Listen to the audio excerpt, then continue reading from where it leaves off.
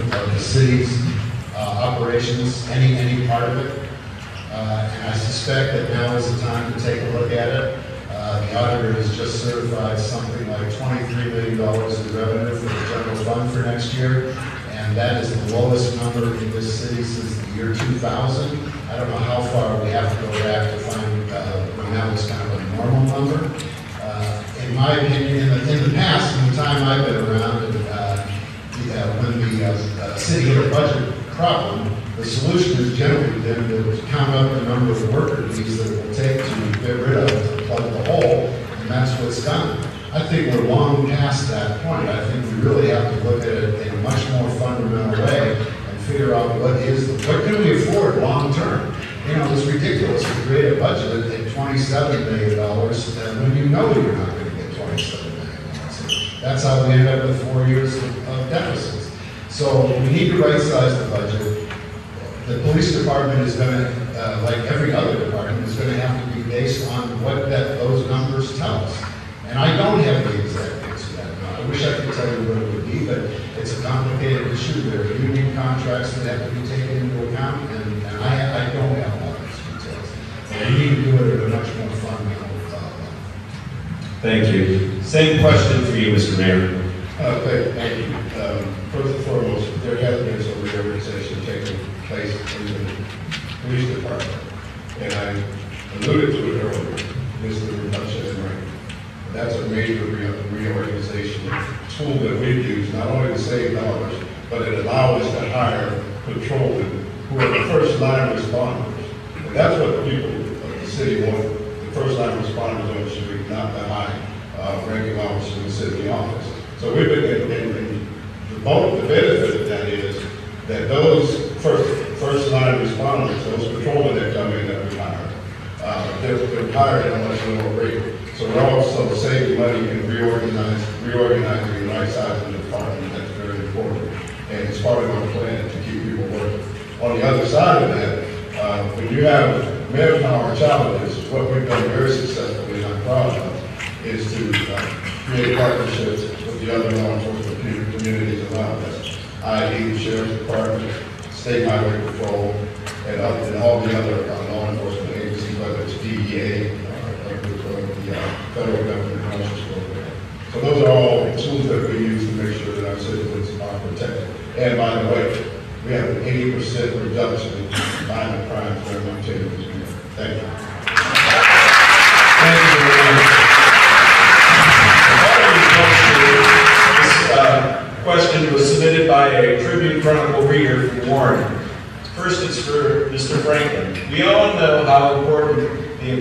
Our city is in making it inviting to business, visitors, future residents, and current residents.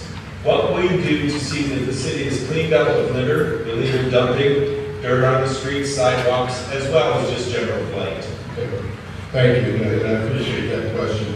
Uh, One of the things I talked about uh, in the, in my last State of the City speech for the neighborhood blitz program. Uh, and I thank Judge Gaskell for his help, because it got off, because of a rainy June, number one, and the fact that it got to a slow start, we needed to have the judicial component help us with the citations as we move throughout the neighborhoods. Uh, We also used the challenge grant, uh, and the the information that was gathered by TNP from the challenge grant to sort of direct us and how we move throughout our neighborhoods. But what I am really proud of, in my four years, we've torn down nearly at least four hundred and fifty-seven properties in the city of Warren. That's getting it done. We've also, um, in order to improve our appearance, we've also improved our gateway entrances into the city, and they're, they're enhanced by beautiful new uh, gateway entrance signs in the city Warren. You can see everywhere around the city. That's part of the plan. And for you that don't know, uh, you see a lot of commercial properties coming down. Austin Village Plaza, uh, the two PE plants, and also just, first to this, today we signed a contract with the old parties on the corner of Summit and uh, Parkland Road will be coming down in the next few weeks. So we're very happy about what we've been able to do. We're going to do a lot more, but we have to put on our partners and our grant opportunities to get a lot of. Mr. Blank, uh, same question to you about blight. Uh, Blight, light touches every aspect of the city. It's one of the most important issues and one to spend uh, too little time talking about, I think. Uh, I would like to say that in some communities, neighborhood blitz is also known as doing your job, cleaning up the city. Uh, One of the things that I think is really hurting us is a lack of priorities for this uh, activity. Uh, The operations department that does much of this work has been reduced in staff significantly over the years. There certainly aren't enough people to clean every corner of this city. But that makes it all the more important that we have priorities, and this is something we don't have.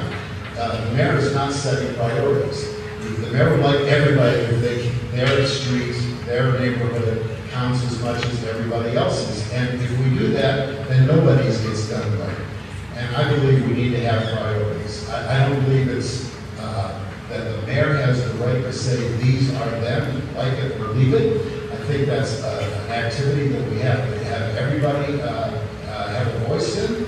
But I don't want to dodge the question, so I'll tell you what I personally think the priority should be. I think all of our parks should look great. And that includes Courthouse Square, which is a city park. People should be able to use the restrooms in Packard Park. They shouldn't be locked up because we can't keep them clean. The city, the, the streets around uh, the courthouse square should be swept and, and snow should be removed so people aren't parking in the middle of Market Street climbing over uh, piles of snow to get to a store. Uh, the crosswalks in our city schools got painted on the day school started this year and only because somebody wrote a letter to the Tribune and pointed out that you couldn't see them. These to me should be priorities, our parks and the areas around our schools. And we should try to do even more, but there should never be a time when those aren't looking for. So Mayor, Thank you. And, and just on the parks issue, um, and it's an insult to, us, uh, operations workers, who not done cleaning those parks every single day. That happened on the weekend when no available uh, personnel was ready.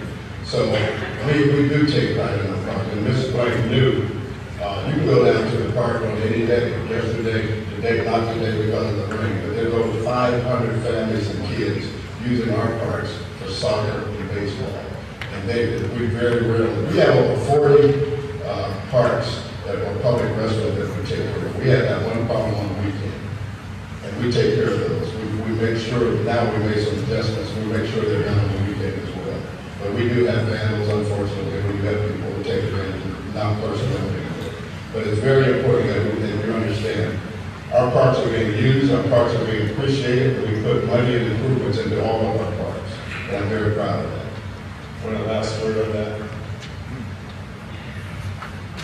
Okay. No, All right, we got it for you. This is from a reader. Mr. Blank, as mayor, what could you do to help combat the growing drug problem in Warren? I'll tell you, I, I said this in a couple of neighborhood association meetings, if I had the solution to that problem, I'd be running for president, not uh, mayor. Uh, This is a problem that is plaguing our country, in cities big and small. I'm sure you all know there are little birds that you can't even find on the map in Nebraska,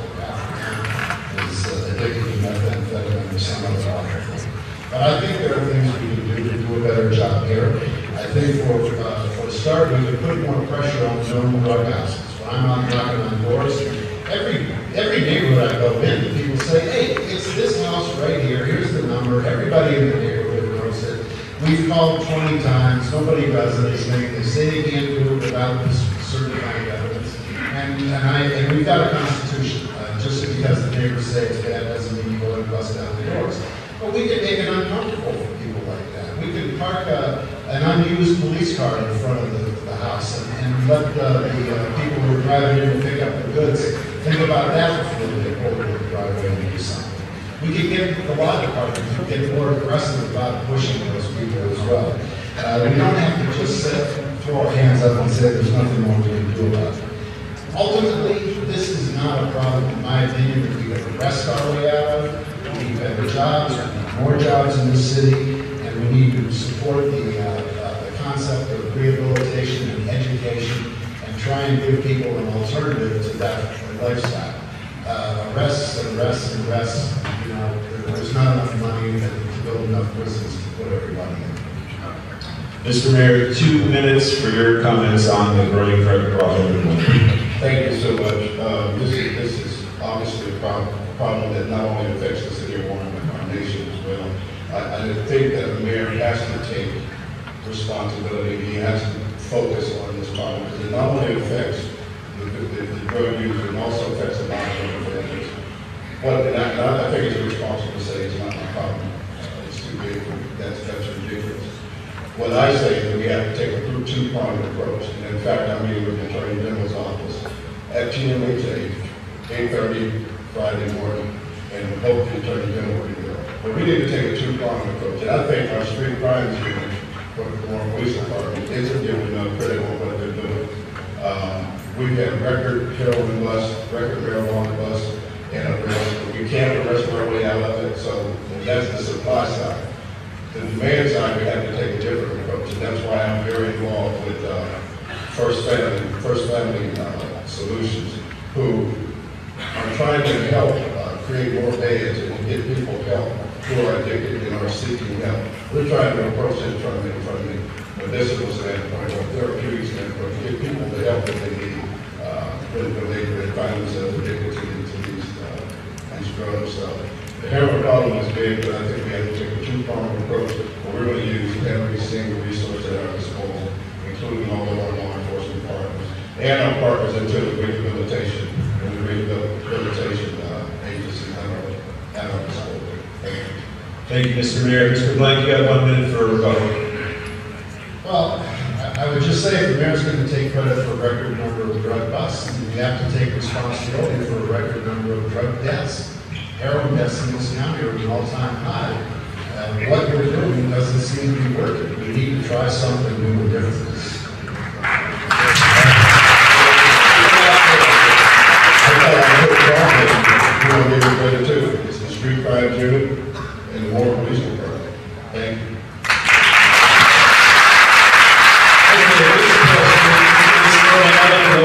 Tribune Chronicle reader, Mr. Blank, while I understand the past winter was very severe, it seems that the city is playing catch-up with badly deteriorating roadways. If elected, what would be your plan for dealing with road resurfacing and maintenance?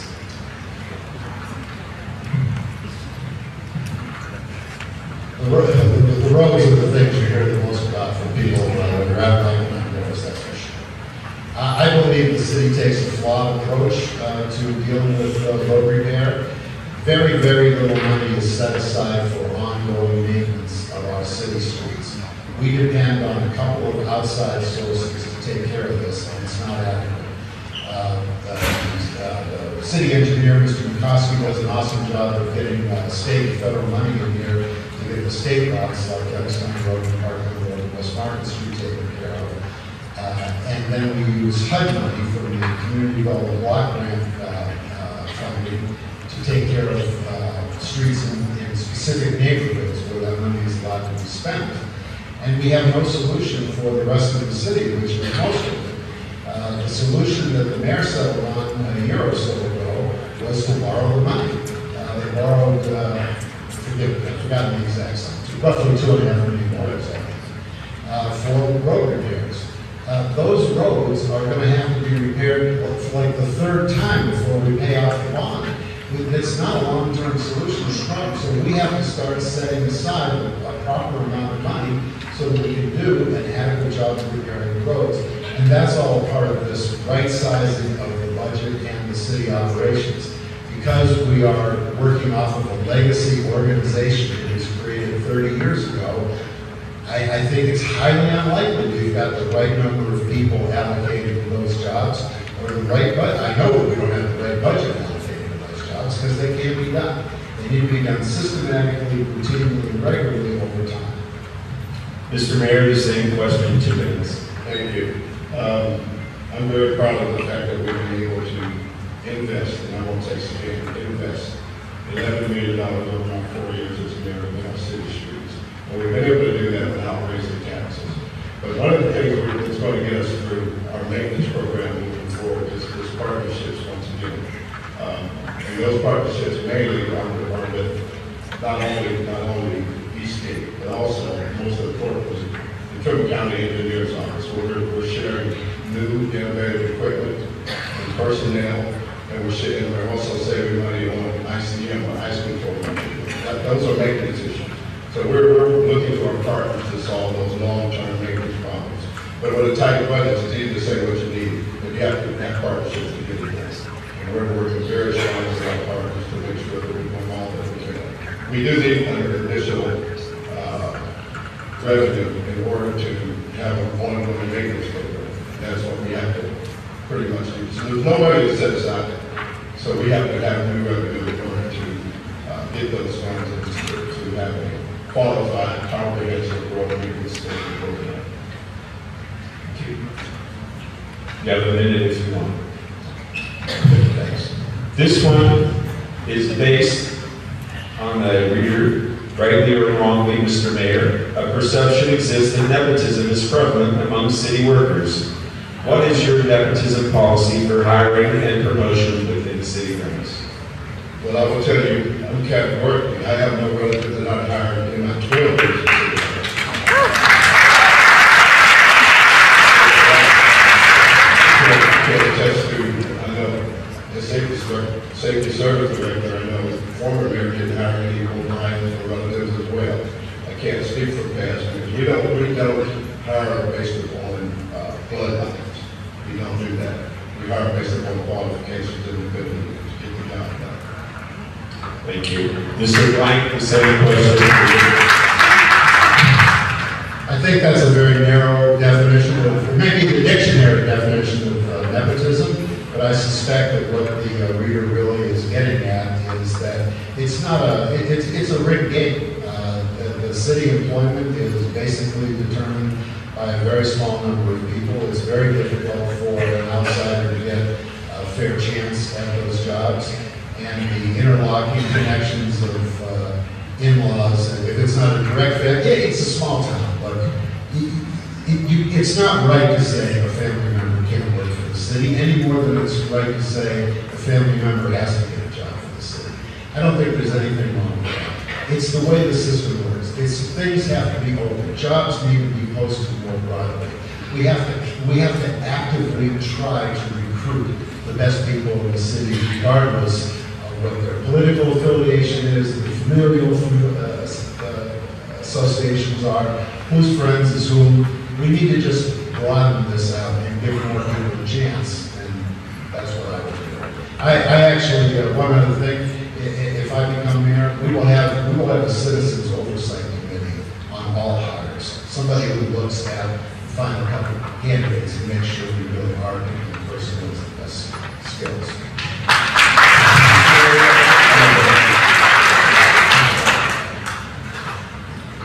All right, this is from a resident of Warren's southeast side, for Mr. Mayor.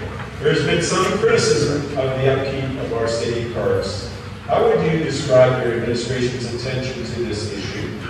And what is your plan to improve the park's condition and bring them back up to par and keep them that way?